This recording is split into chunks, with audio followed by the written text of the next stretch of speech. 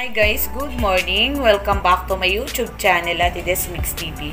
Uh, ngayong araw po na ito ay ako ay magluluto ng ginataang langka. Ayan, at yung ipapaulam ko sa aking uh, mga tanod. At tawag po dito sa amin ay bukod sa langka ay langka. Ayan, akin po munang babanlian. At pagkabanli, itatapon ko yung sabaw tapos lalagay ng ikalawang gata. Yan. Ang lock po na ito, alam po ninyo kung ano? Ay, sardinas. At marami din lang sardinas. Ay, ay di sardinas. O di po baga, ayos na ulam sa panahon ng tag-ulan. Guys, bali ito po ay luto na. Tatanggalan ko po ito ng sabaw at itatapon ko. Saka ko ilalagay yung pangalawang gata. O di po baga at lalagay ng rekado. So, then guys, ilalagay na po natin. Natanggalan natin yung Pinakansabaw niyang una. Honey, ilalagay po natin yung bawang at luya. Ayan. Di kakaunti, iisang balot at wala po kaming ano ah, walang bunga pang nangka ngayon. Bumili lang kami sa bayan. Ayan. Pagkatapos po ay ilalagay natin yung sardinas. Ayan. Wala ay dalawang sardinas. Hindi maraming sardinas. Ito pati ang mas mura-mura. Ay, pasensya muna sa aking mga tano, Dani. At ang inyong kagawad ay taghirap. Walang pera, kaya sardinas muna at gulay. Ba, ito na may masustansya. Ano nga? Tapos lalagay po natin yung pangalawang gata. Yan. Ito po yung magluluto uli doon sa kuwan. Sa langka. Sa ibang lugar po yung langka.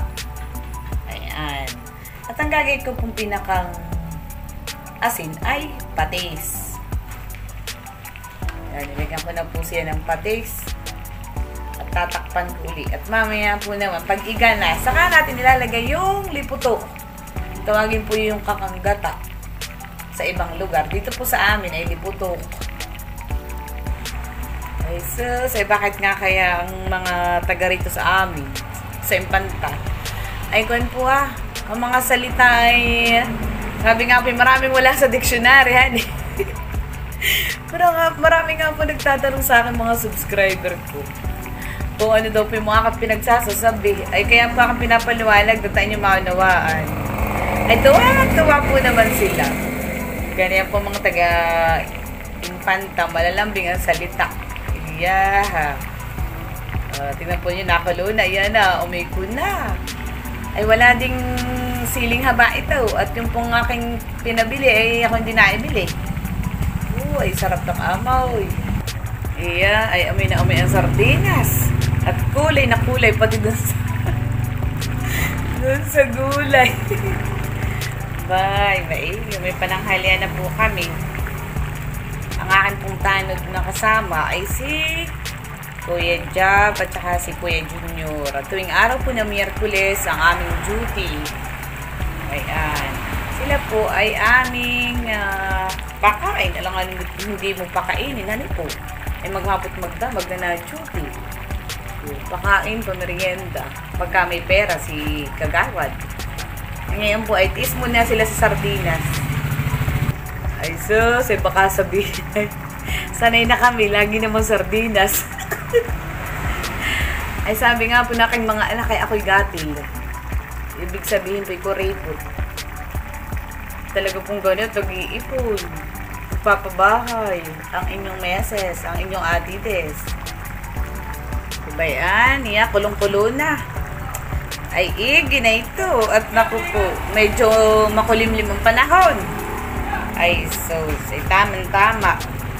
Yun namang dami niya ay sakto lang dun sa aking dalawang tanod at saka sa aming mag-asawa. Pag duty ko po, yung asawa ko ay sinasamahan ako pagka sa tanghali, pagka-out niya sa trabaho, sa hapon, pagka-out niya sa trabaho, at magdamag. Sinasamahan niya kami ng aking mga tano dito po sa Barangay Outpost. Very supportive ng uh, aking mister, honey. Sangka pa.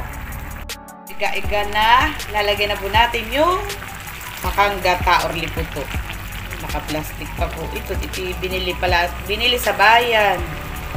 Ako po na may medyo masama yung pakaramdam. Sobrang po yata kahapon paglilinis dun sa kabila sa aming pinapagawang bahay. Sobrang ng pagod. Hindi ako masama ang pakaramdam. Kaya ako ay hindi na nakapagkait ng niyog. Magpabili po na lang ako ng gata. Ay, so, sa saipot saipot. Ay, eh, ginagawa ko may siling haba. Yeah, ay kinilam, kinalimutan naman ang aking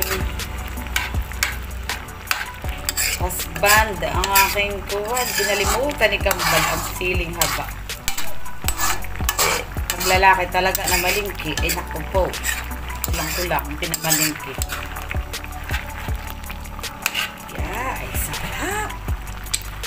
Naamoy ko na. Sauce, ay sarap. Sardinas lang ay katalunan eh. Tikman natin. Mmm. Sakto, ang lasa. Yeah, ay sarap. Ayan, at luto na ang ating ginatang mangka. Ang lahok ay sardinas. Oh, ha? Ang ulam na kami sa pananghalian ng mga tanod.